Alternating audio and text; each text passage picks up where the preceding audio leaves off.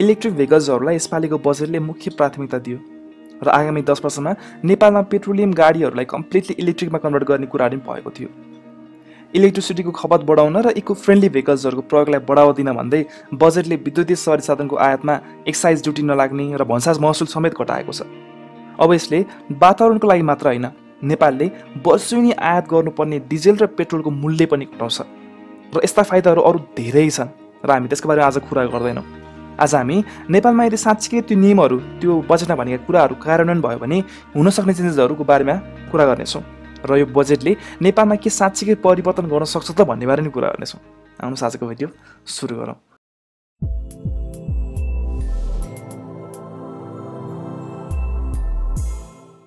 Petroleum पदार्थबाट सञ्चालन हुने सवारी साधनलाई विद्युतीय सवारी साधनमा रूपान्तरण गरेमा पाँच वर्षसम्म नवीकरण शुल्क र सडक दसु छुट दिने पाँच सयवटा चार्जिङ स्टेसन टर्मिनल भवन लगायत अन्य पूर्वाधार निर्माण गर्ने।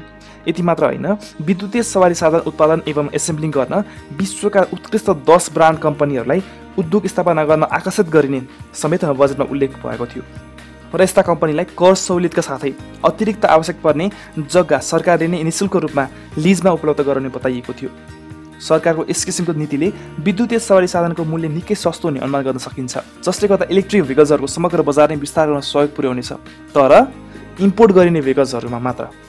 नेपालमा नै यात्री जस्ता कम्पनीहरूले इलेक्ट्रिक बाइकहरू बनाउन यस्तो मिहिनेत गरिरहेको बेला त्यस्ता कम्पनीलाई प्रोत्साहन हुने खालका कुनै पनि निर्णयहरू चाहिँ भएनन्। बाहिरबाट गाडी आयात गर्ने र त्यसको प्राइस घटाउने वा बाहिरको कम्पनीलाई नेपालमा ल्याउने तिनीहरूलाई सहुलियत दिने जस्ता कुराहरू मात्र भयो तर नेपालमा नै नेपाली कम्पनीहरूले बाइक बनाउँदा त्यसको प्राइस घटाउने चाहिँ कुरा भएन कि? झट्ट सुन्दा वाह कति दामी निर्णय गरेको यसपालि बजेटमा भन्ने जस्तो लागेको थियो। तर कतिको व्यवहारिक छ त त्यस्ता निर्णयहरू?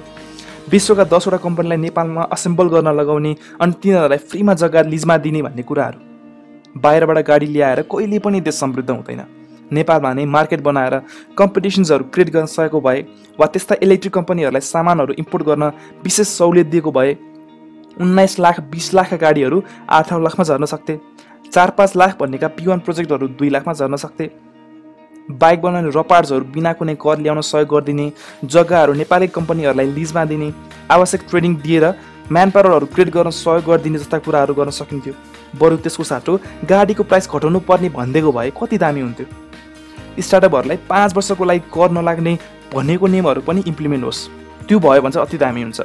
जे होस् इलेक्ट्रिक बाइक नेपालकै चढ्न न बाहिरबाट ल्यायो भने आयात मात्र हुन्छ र त्यसको इन्भाइरोमेन्टल बेनिफिट चाहिँ हुन्छ है। तर देशको इकोनोमी चाहिँ बन्न सक्दैन। सो यात्री मात्र होइन नौ दसवटा त्यस्ता कम्पनीहरू नेपालकै होस् न यात्रीले जस्तो सुरुमा नै बिस लाखको बाइक भनेर तर्साउने अवस्था चाहिँ नआओस् के? नेपालीहरूले चढ्न सक्ने वा भनौँ अफोर्ड गर्न सक्ने बाइक आओस् न जुन सरकारको सहयोगबाट मात्र हुन्छ। सो आशा गरौँ केही चेन्जेस होस् र बजेटमा उल्लेख भएका कुराहरू चाहिँ पुरा होस्। त्यति भए नै पुग्छ अहिलेलाई चाहिँ। धेरै लोभ चाहिँ नगरौँ न। जनतालाई खुसी बनाउन र भोट कलेक्ट गर्ने बाटो मात्र नहोस् यसपालिको बजेट। आजलाई भिडियो यति। यदि भिडियो केही इन्फर्मेटिभ लागेको भए भिडियोलाई लाइक गर्न सक्नुहुनेछ र साथीहरूलाई सेयर गर्न सक्नुहुनेछ। र यस्तै कन्टेन्ट भविष्यमा हेर्न चाहनुहुन्छ भने चाहिँ please subscribe the channel thank you